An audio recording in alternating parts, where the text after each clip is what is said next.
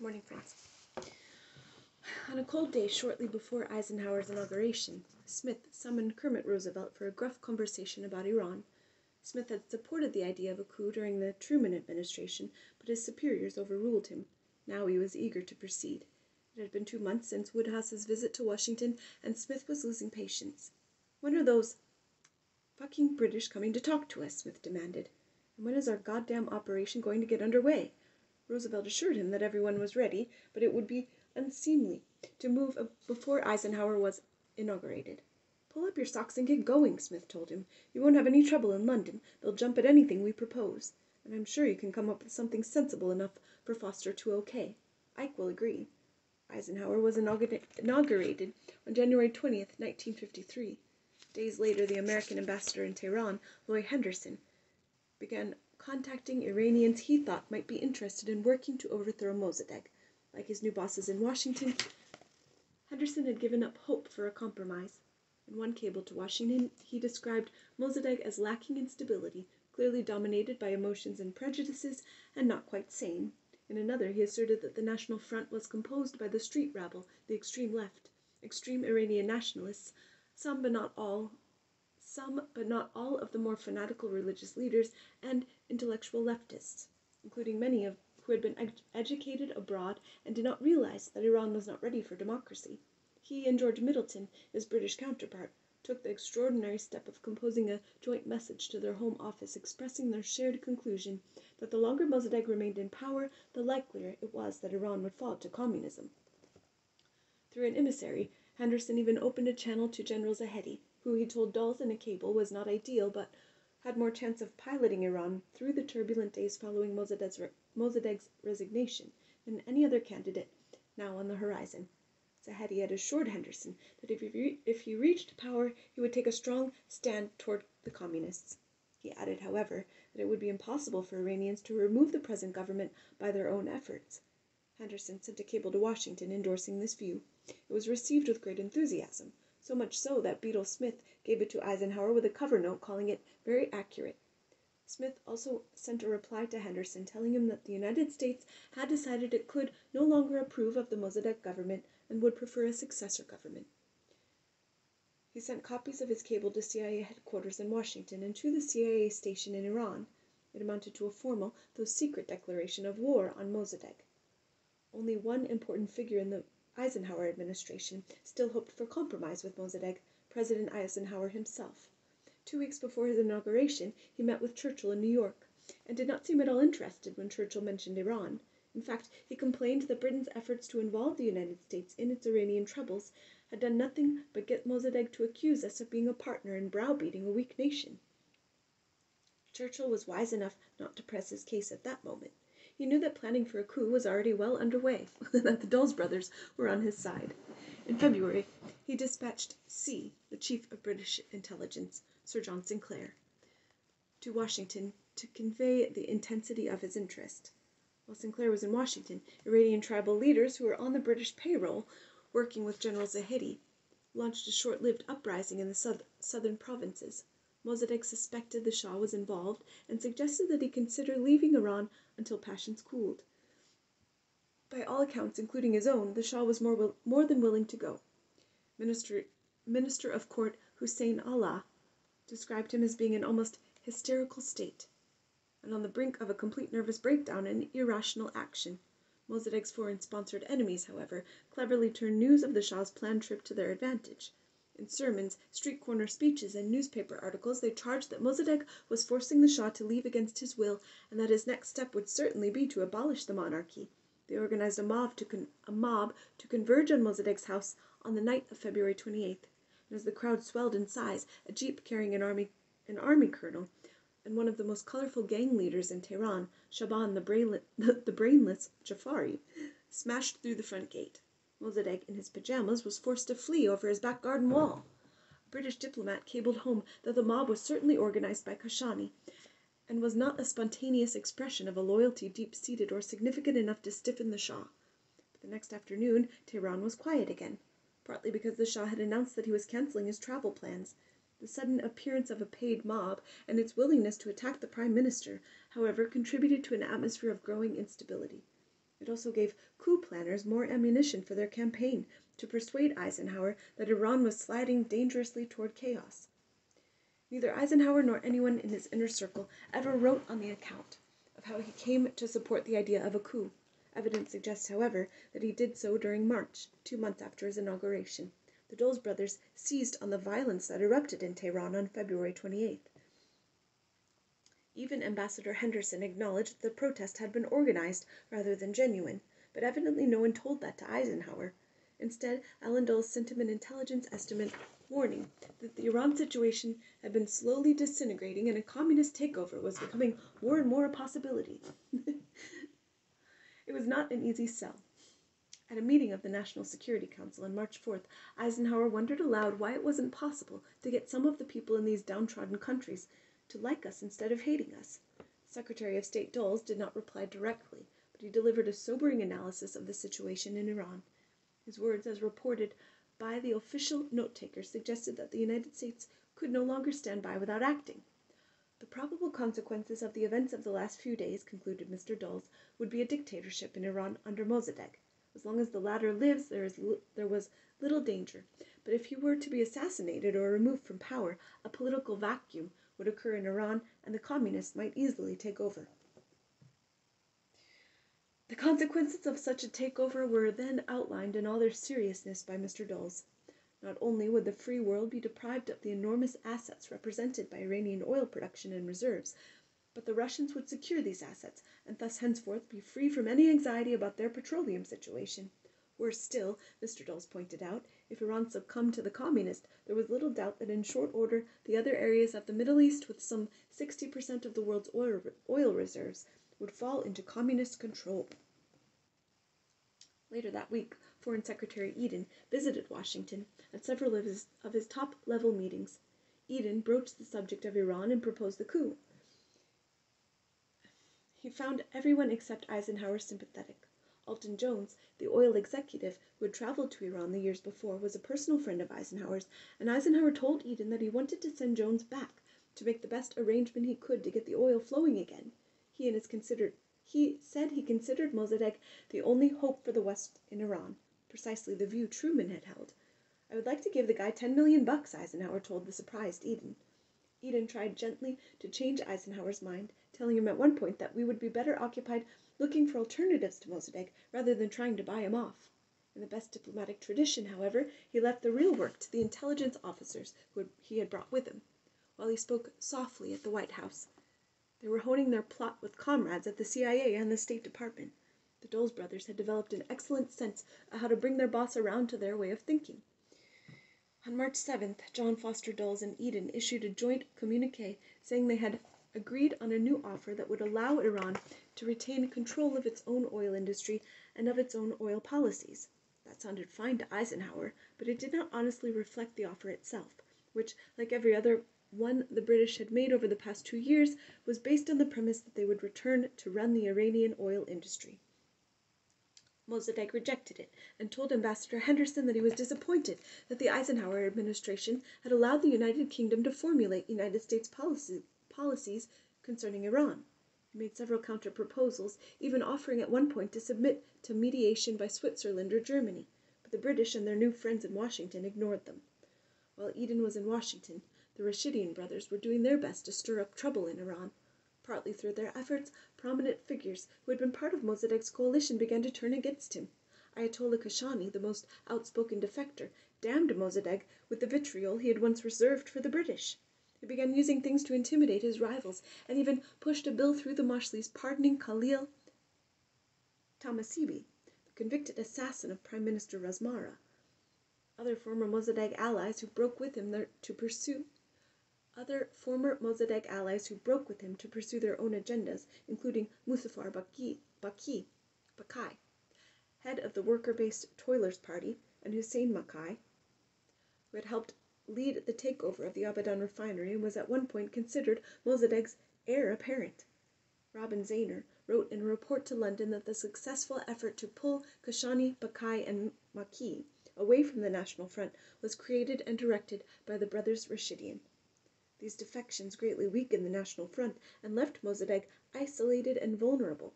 They also immeasurably strengthened the Dulles brothers in their effort to persuade President Eisenhower that the time had come for the United States to act. At a National Secretary Council meeting on March 11, Secretary of State Dulles asserted that Americans must become senior partners with the British in this area. Eisenhower expressed no disagreement. The President said that he had very real doubts whether, even if we tried unilaterally, we could make a successful deal with Mossadegh, the note taker at the meeting reported. He felt that it might not be worth the paper it was written on, and the example might have grave grave effects on United States oil concessions in other parts of the world. Eisenhower had come to the conclusion that Iran was collapsing, and that the collapse would not be prevented as long as Mossadegh was in power. He stopped inquiring about the prospects for compromise.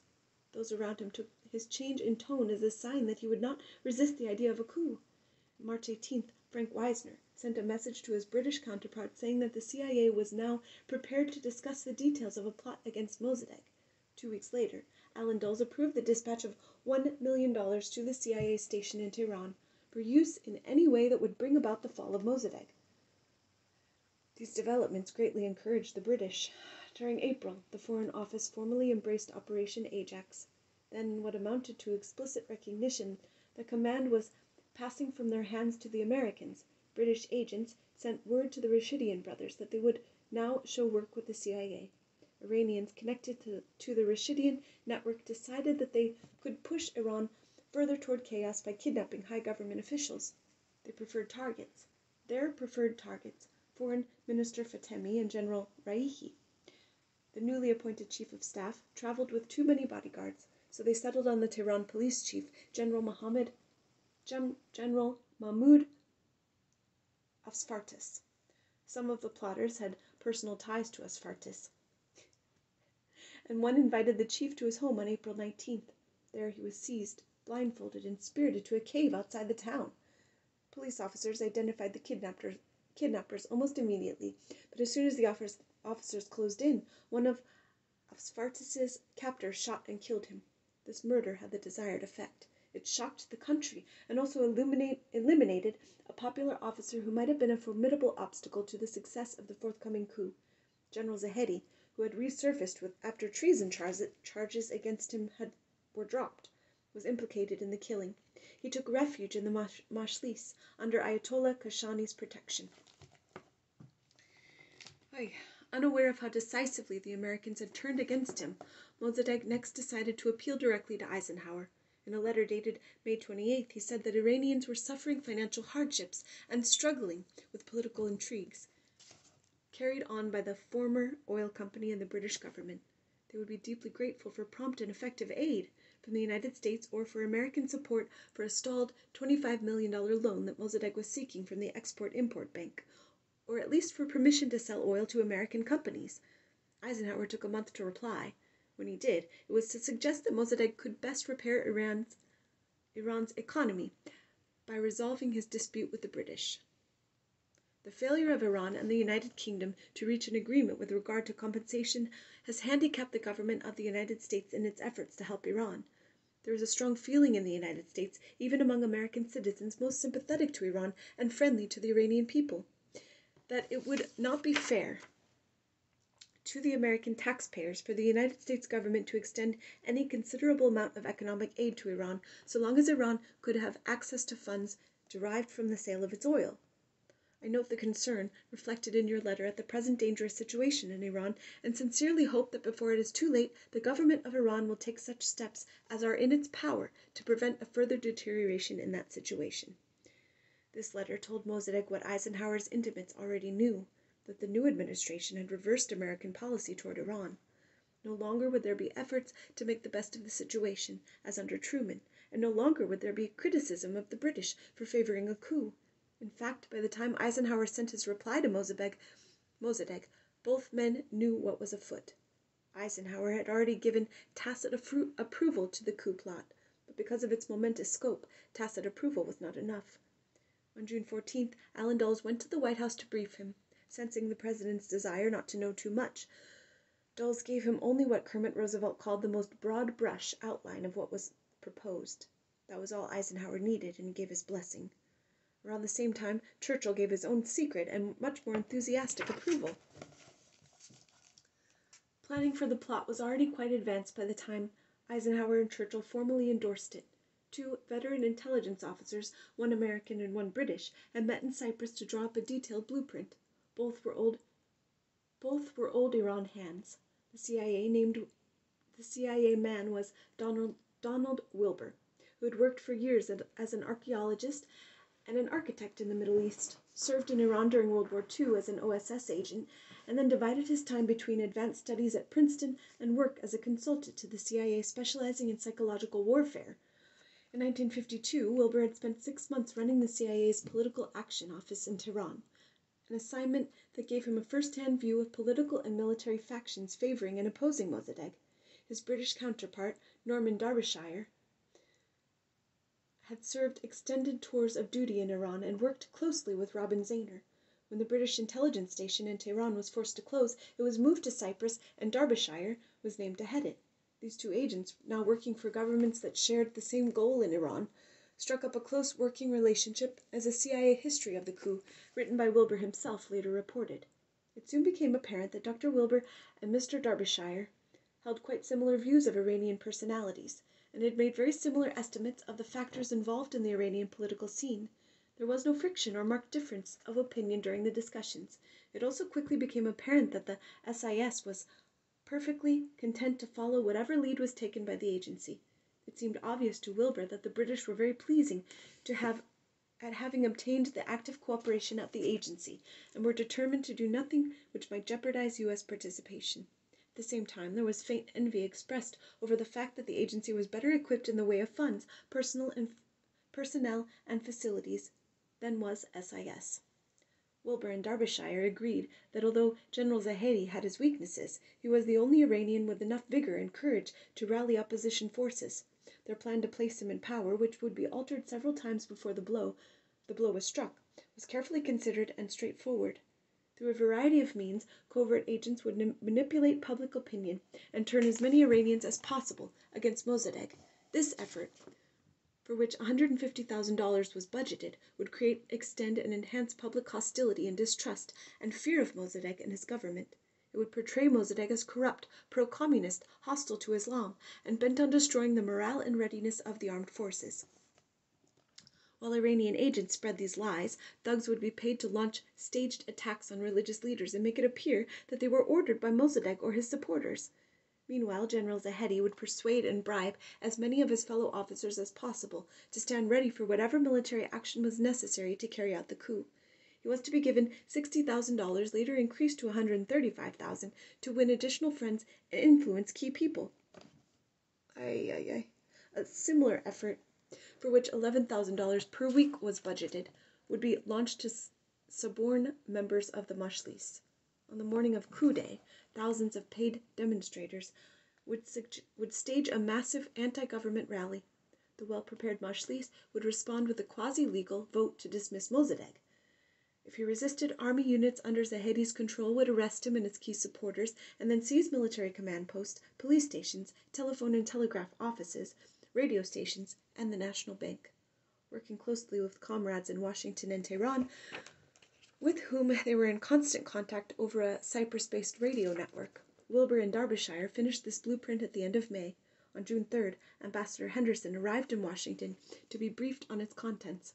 He stayed to attend a crucial meeting on June 25th, at which plans for the coup were laid out in detail. President Eisenhower did not wish to hear details of covert operations and so did not attend this meeting. His closest foreign policy advisers, however, were all there. The meeting was held in John Foster Dulles's office at the State Department. When the plotters had assembled, Dulles picked up the report Wilber and Darbyshire had written and said, So this is how we get rid of that madman Mossadegh. Kermit Roosevelt explained how he proposed to carry out the coup, and when he fin- and when he was finished, Dulles asked the others what they thought. Allen Dulles and Bedell Smith endorsed the plan without reservation. So did Secretary of Defense Charles Wilson two senior State Department officials, Henry Brierode, Byroade, the Assistant Secretary for Middle East Affairs, and Robert Bowie, the Director of the Policy Planning Staff, went along with slightly less enthusiasm, certainly realizing that they would not remain in their jobs long if they dissented. When it was Henderson's turn to speak, he said he had no love for this kind of business, but that in this case we have no choice. That's that, then, Secretary of State Dulles said with an uncharacteristic grin. Let's get going. With this unanimous vote, the United States gave its final go ahead for Operation Ajax, or Operation Boot, as the British continued to call it. The governments in London and Washington were finally united in their enthusiasm. One looked, for- one looked forward to recovering its oil concession, the other saw a chance to deliver a devastating blow against communism. There was dissent from this new unity.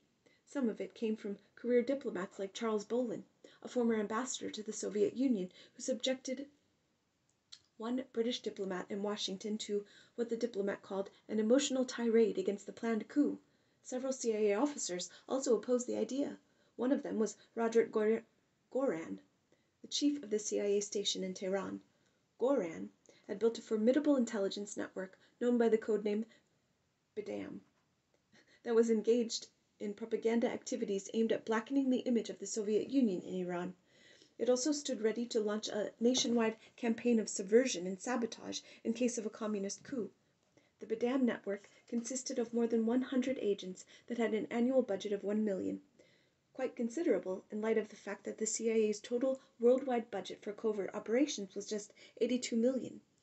Now Goiran was being asked to use his network in a coup against Mossadegh.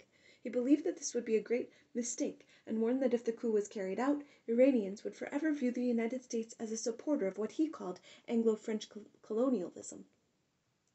His opposition was so resolute that Allen Dulles had to remove him from his post. While Allen Dulles marshaled resources for Operation Ajax, John Foster Dulles became its most enthusiastic cheerleader. He followed the preparations with delight and also great impatience. At one point he became alarmed when Iran was discussed at a high level meeting but no mention was made of the planned coup.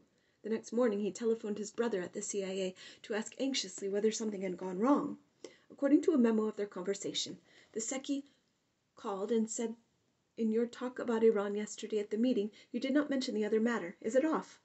AWD said he doesn't talk about it. It was cleared directly with the president and is still active. AWD said it is moving along reasonably well. Thus reassured that the plot was afoot, Secretary of State Dulles confined his public statements to generalized laments about the course of events in Iran. His comment at a news conference in July might have been read as a warning couched in highly diplomatic language. Recent developments in Iran, especially the growing activity of the illegal Communist Party, which appears to be tolerated by the Iranian government, have caused us concern, he said. These developments make it more difficult for the United States to give assistance to Iran so long as the government tolerates this sort of activity. By the time Kermit Roosevelt entered Iran on July 19th, the country was aflame. Mossadegh supporters in the Majlis had voted to remove Ayatollah Kashani, from his position as speaker, and the resulting clash led more than half more than half of the deputies to resign. Demonstrations demanding dissolution of the Majlis shook Tehran. Mossadegh announced that he would hold a referendum on the question and pledged to resign if voters did not vote to oust the existing Majlis. The referendum, hurriedly convened at the beginning of August, was a disastrous parody of democracy. There were separate ballot boxes for yes and no votes, and the announced and the announced result was over 99% in favor of throwing out the Majlis.